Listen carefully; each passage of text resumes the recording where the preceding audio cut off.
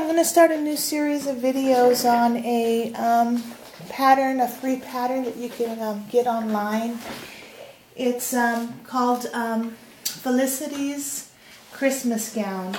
If you go to www.agplaythings.com, you're going to come up with uh, uh, this pattern right here.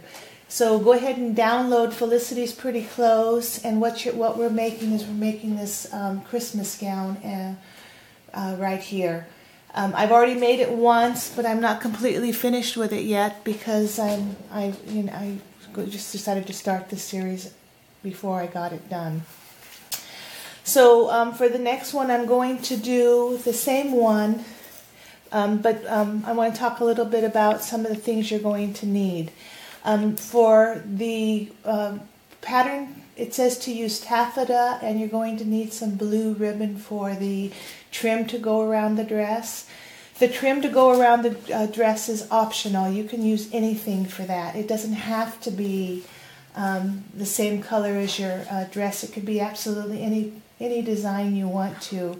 Um, you can make this. You can make these dresses really elaborate or you can make them plain um, like this without any um, added trim or bonus, but it depends on what you're making. Um, if you've ever seen that, um, if you've ever seen the movie uh, Dangerous Liaisons with Glenn Close, or if you've seen um, Valmont with um, Annette Bening, you're going to see this style of clothing because this is from 1774, and this would be one of the um, nicer dresses that um, the women wore to like balls and parties and things like that. Um, the stomacher was interchangeable, and on the pattern itself, it'll tell you to print uh, enough for two stomachers, so you can interchange these. One was um, the lace, and the other one had ribbon with little pearls on it. If you look up 18th century clothing online and you look up the gowns, you're going to see how elaborate um, some of these outfits actually were during those times. Um, anyway, um, for this outfit, instead of doing everything in the plain cotton, we're going to use two different types of fabric.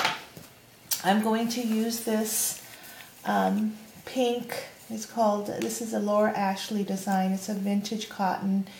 Um, you may have seen it as wallpaper in somebody's house, but it's um, uh, pink flowers with a, a, a, rectangular square around it design. But anyway, um, this is what I'm going to be using for um, the out, outer skirt, this one. For the inner skirt, I'm going to be using a green um, floral design, but they're both cottons. So I was sitting here wondering if I should go with the off-white lace the pattern calls for two different types of laces. So um, I didn't know if I wanted to go with the off-white lace or if I wanted to go with the white lace. Um, it, it, it, calls for you to use um, 5 eighths of an inch lace and a one and a half inch lace, I believe the pattern. Let me, let me see what it says here.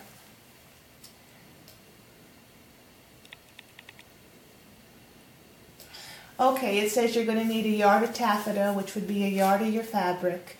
It says four and a quarter yards of white lace, an inch and a half wide, and then a yard of five eighths of an inch. You don't have to use two different types of lace. I use the same lace on the whole outfit. So when I uh, put it around the neck, I just cut off the end of this because we're going to uh, um, gather it anyway. There's no sense in using up finding having to find two different types of laces unless you want to. So I'm using the same uh, inch and a half lace throughout the whole thing.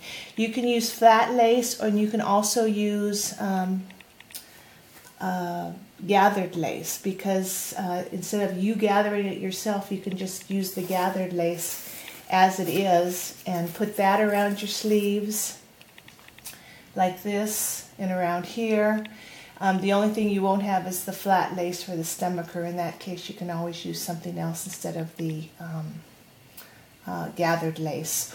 Or you can just actually remove that uh, stitching right there and, and, and make it flat yourself. It's just that simple.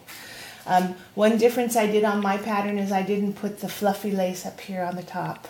So if you want to do that, you can do that too. There's just so many things you can do. So I was going to use an off-white lace, but then I saw that there's white inside this green fabric. So I think I'm just going to go ahead and stick with the white lace.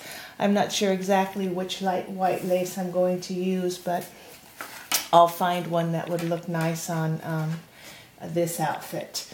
Okay, so um, we're going to need um, the outer fabric or the in, and the we're going to need either the same type of fabric for the inner and the outer skirt and we're going to need lace and we're going to need snaps. Um, like I said, I haven't got this finished yet because um, I wanted to start the videos before I got everything done.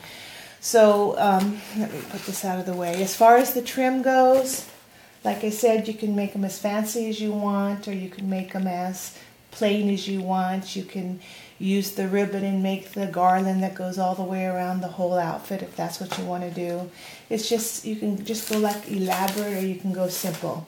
Okay, so the dress has uh, actually three different parts we're going to make. We're going to make the stomacher.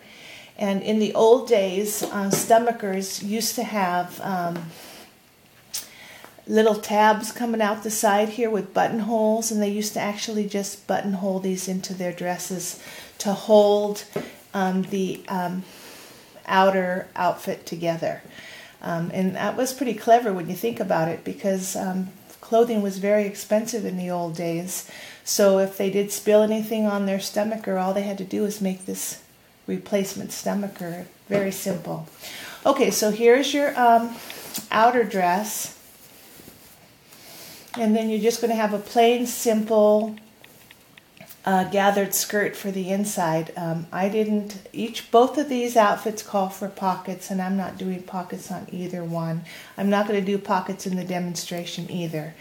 Um, the pockets called for, the outfit actually called for you to have slits on both sides, but I'm, I'm just, I just redid it and made a plain skirt. I didn't want to fuss with any of the side pockets because they're not really pockets. They're just slits in the side of the dress and there's no lining to the pocket so you'd have a pocket that anything you put in the pocket would fall right outside i don't know if they did it to be realistic on the dress or what but we're just going to do a plain simple underskirt uh, and all it is is a little pleated underskirt i'll try to follow the rest of the pattern just like it is in the um, pattern but um, i changed the underskirt um, but I did the outer skirt pretty much um, following the pattern directions. And basically that's what we're making right here is uh, the little bodice uh, with the two sleeves and then just a plain um, open uh, bottom. It's a simple pattern. It's just that they make the instructions so darn um, difficult to uh, uh, re uh, to read and to understand. Okay, so I'll go ahead and clean this up and I'll get my pattern pieces out and show you what you need to cut and then we'll get started putting the dress actually together.